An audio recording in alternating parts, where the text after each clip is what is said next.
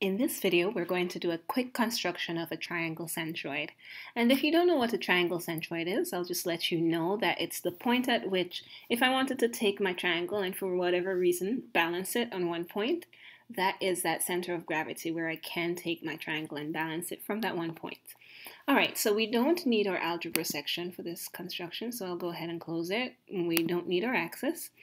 All right, so now I can make my triangle by going to my polygon tool and I click three times. So one, two, three, and then I close my triangle by clicking a fourth time.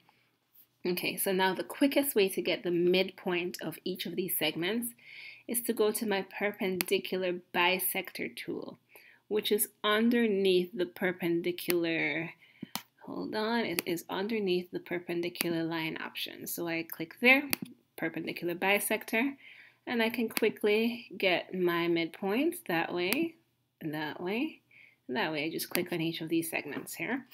All right, so we don't really need all those lines here because we're not doing, you know, perpendicular bisector stuff. We just need the midpoints. So I'm going to take my point tool and go ahead and click on that point, this point here. So I wait till they're both highlighted, the triangle and the line and that point. So now that I have my midpoints, I can go ahead and hide these lines by right-clicking on them and unclicking Show Object. So I'm going to do that for all three of these lines.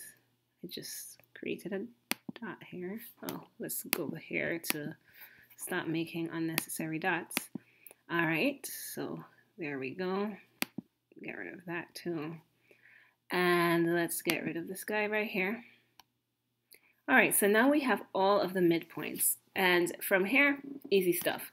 All we have to do is join or vertex with the midpoint that's across. And we're going to do that three times. So all I need to do that is a segment. So I'm going to click segment. And we're going to make that line to that line. And that's called a median.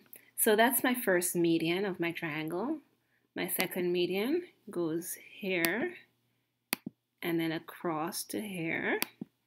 And my final, my third median goes from here and over to here. And as you can see, there is a point of concurrency right here in the triangle. And it is right here.